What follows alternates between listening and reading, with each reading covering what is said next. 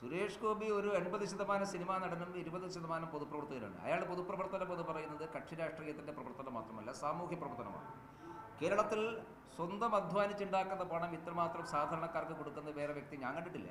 സാധാരണ നിലയ്ക്ക് ഉണ്ടാവാം പക്ഷേ നമ്മളങ്ങനെ കണ്ടിട്ടില്ല. അദ്ദേഹം അധ്വാനിച്ചുണ്ടാക്കുന്ന പണമാണ് അല്ലാതെ വേറെ ഒരു ഏജൻസി കൊടുക്കുന്ന പണമല്ല ഒരു സംഘടനയും കൊടുക്കുന്ന പണമല്ല. അദ്ദേഹം അധ്വാനിച്ചുണ്ടാക്കുന്ന പണത്തിന്റെ ഒരു വശം സാമൂഹ്യ പ്രവർത്തനത്തിന് വേണ്ടി മാറ്റിവെക്കുന്ന ഒരു പ്രവർത്തനമാണ്. അദ്ദേഹത്തിന്റെ രാഷ്ട്രീയ പ്രവർത്തനം എന്ന് പറയുന്നത് ആ പ്രവർത്തനമാണ്. അല്ലാതെ ഇരുപത്തിനാല് മണിക്കൂർ രാഷ്ട്രീയ പ്രവർത്തനം നടത്തുന്ന ഒരാളല്ല. അദ്ദേഹം സിനിമയിൽ അഭിനയിക്കുന്നുണ്ട്. സിനിമ അഭിനയമാണ് അദ്ദേഹത്തിന്റെ ഏറ്റവും പ്രധാനപ്പെട്ട കാര്യം. പിന്നെ അതിന്റെ അദ്ദേഹത്തിന്റെ പേര് ഉയർന്നു വന്നിട്ടുള്ള കാര്യങ്ങൾ അത് അതാത് സമയത്ത് തന്നെ അതിന് പ്രതി പ്രതികരിച്ചിട്ടുണ്ട്. ആ കാര്യങ്ങളെല്ലാം എല്ലാവർക്കും ബോധ്യപ്പെട്ടിട്ടുണ്ട്. ഇനിയിപ്പോൾ ഏതായാലും കേസ് കൊടുത്തല്ലോ. കേസ് കൊടുത്തു കഴിഞ്ഞ് കഴിഞ്ഞാൽ പിന്നെ അതിനെക്കുറിച്ച് നമ്മൾ പറയേണ്ട അർത്ഥമില്ലല്ലോ. കേസ് കേസിന്റെ വഴിക്ക് നടക്കട്ടെ. നിയമം നിയമത്തിന്റെ വഴിക്ക് നടക്കട്ടെ. ബഹുമാനം റെസ്പെക്റ്റ് സ്നേഹം എന്നുള്ളതൊന്നും സ്വാതന്ത്ര്യം ഇതൊന്നും വൺ വേ ട്രാഫിക് അല്ല. നമ്മളെല്ലാവരും പൊതുരംഗത്ത് പ്രവർത്തിക്കുന്നവരാണ് നന്നായിട്ട് ഇടപെടുന്നവരാണ് വളരെ സൗഹൃദത്തോട് ഇടപെടുന്നവരാണ്. ആ സൗഹൃദം അങ്ങോട്ടും ഇങ്ങോട്ടും എല്ലാം ഉണ്ടാവണം. കോഴിക്കോട് സംഭവത്തിന്റെ പശ്ചാത്തലം എന്താണ് എന്ന് എല്ലാവർക്കും അറിയാം. ഞാനതിനെക്കുറിച്ച് അതിൽ കൂടുതലൊന്നും പറയുന്നില്ല. അതിന്റെ പുറകിലുള്ള രാഷ്ട്രീയ ബന്ധമാണെന്നും എല്ലാവർക്കും അറിയാം. പിന്നെ നമ്മളിപ്പോൾ ഒരു സംഭവം നടന്നു. ആ സംഭവത്തിൽ വളരെ മാന്യമായിട്ടാണ് സുരേഷ് ഗോപി പ്രതികരിച്ചത്. അത് നിങ്ങൾക്കെല്ലാവർക്കും അറിയാം. കേരളത്തിലെ ജനങ്ങൾക്കും അറിയാം. അത് പ്രതികരിച്ചു കഴിഞ്ഞാൽ ആ സംഭവം അതോടുകൂടി അവസാനിക്കേണ്ടതായിരുന്നു. പക്ഷേ നിർഭാഗ്യവശാൽ അവസാനിച്ചില്ല. നമ്മൾ ഞാനതിന്റെ എന്തുകൊണ്ട് അവസാനിച്ചില്ല എന്നുള്ളതിനെക്കുറിച്ച് പറയാൻ തയ്യാറാകുന്നില്ല. കാരണം അതൊക്കെ ഓരോ ആളുകൾ തീരുമാനിക്കേണ്ടതാണ്. ഒരാൾ എങ്ങനെ തീരുമാനിക്കണം നമുക്ക് പറയാൻ പറ്റില്ലല്ലോ. പക്ഷേ അതിനുശേഷം കേരളത്തിൽ നടന്നിട്ടുള്ളത് ഒരു മനുഷ്യനെ എങ്ങനെയൊക്കെയാം തേജോബദ്ധം ചെയ്യാൻ സാധിക്കുമോ? അതിനുള്ള പരിശ്രമമാണ് ഉണ്ടായത്. അത് സുരേഷ് ഗോപി എന്ന വ്യക്തിയോടാണോ സുരേഷ് ഗോപി പറഞ്ഞ രാഷ്ട്രീയത്തോടാണോ എന്നറിയില്ല പക്ഷേ സുരേഷ് ഗോപി എന്ന് പറയുന്ന വ്യക്തിയെയും നടനെയും എങ്ങനെയെല്ലാം തേജോബദ്ധം ചെയ്യാൻ വേണ്ടി പരിശ്രമിക്കുന്നുവോ ആ പരിശ്രമമാണ് നടന്നിട്ടുള്ളത്. ഏതായാലും സുരേഷ് ഗോപി ഒരു വഷളനാണ് എന്ന അഭിപ്രായം നിങ്ങൾക്കാർക്കും ഇല്ലല്ലോ കേരളത്തിലെ മാധ്യമപ്രവർത്തകന്മാർക്കോ കേരളത്തിലെ പൊതുസമൂഹത്തിനോ അങ്ങനെ ഉണ്ടെന്ന് എനിക്ക് അഭിപ്രായമില്ല. പക്ഷേ അങ്ങനെ ആക്കി തീർക്കാൻ വേണ്ടി ആസൂത്രിതമായ പരിശ്രമം ഉണ്ടായിരുന്നു അറിഞ്ഞോ അറിയാതെയോ ചില മാധ്യമങ്ങളിൽ വീണു പോകുന്ന നിങ്ങൾ വീണു പോകുന്ന അഭിപ്രായമാണ്. ബാക്കിയൊക്കെ വ്യക്തിപരമാണ്.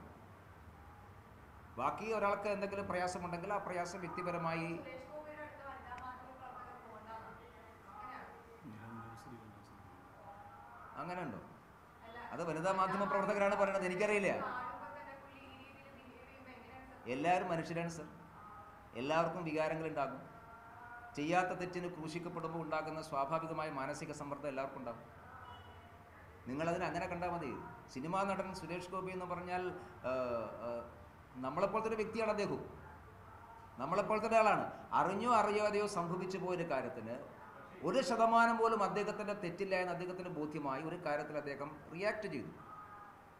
അപ്പം നമ്മളിപ്പോൾ ഉദാഹരണമായിട്ട് നമ്മൾ അറിയാതെ ചിലപ്പോൾ നമ്മളെ മനസ്സിലൊന്നും ഉണ്ടാവില്ല. പക്ഷേ നമ്മുടെ ഇടപെടൽ ശരിയായില്ല എന്ന് തോന്നിക്കഴിഞ്ഞാൽ നമ്മൾ സാധാരണ അതിനോട് സോറി പറയും. ആ സോറി അങ്ങനെ ആ സോറി ഇങ്ങനെ സോറി അതൊക്കെ അതൊക്കെ ലിമിറ്റ് ഞാനതിനെക്കുറിച്ച് പ്രതികരിക്കുന്നത് അതൊക്കെ ഓരോരുത്തരുടെ ധാരണയാണ്.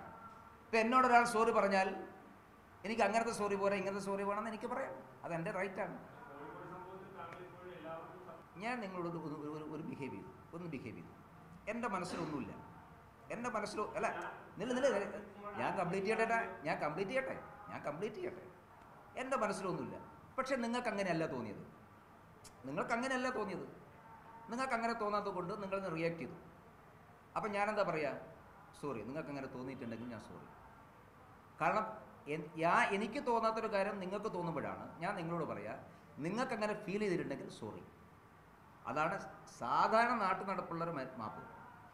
ഇനി മാപ്പ് പറയുന്നതിന് ക്രോണോളജി ഉണ്ടോ? അത് എനിക്കറിയില്ല.